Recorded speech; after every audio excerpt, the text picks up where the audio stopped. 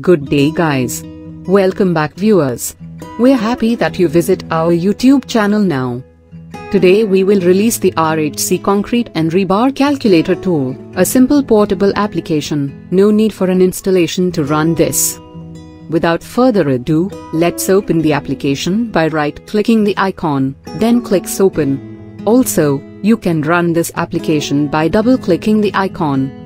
Under input data we can see the letters, V stands for total volume of concrete in cubic meters. W stands for total weight of reinforcing bars in kilograms. L stands for commercial length of rebar in meters. Phi symbol stands for diameter of reinforcing bars in millimeters and also, we include the estimated allowance option in percentage.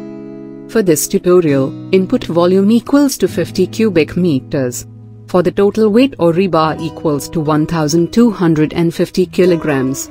For the length or rebars available commercially, let's say 6 meters. For the diameter of rebars let's use 12 millimeters and 0% allowance. After inputting the data just click the calculate button to see the result. Under the result, we have the value of n which is the total quantity of the estimated reinforcing bars in pieces, the quantity of cement in number of bags, the quantity of sand in cubic meters, and the quantity of gravel in cubic meters.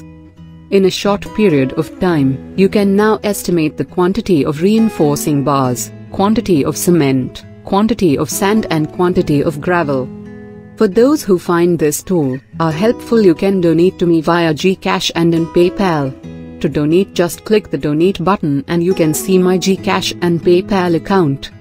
Also, for those who are not yet subscribed to our YouTube channels, just click the subscribe button to navigate to our channel.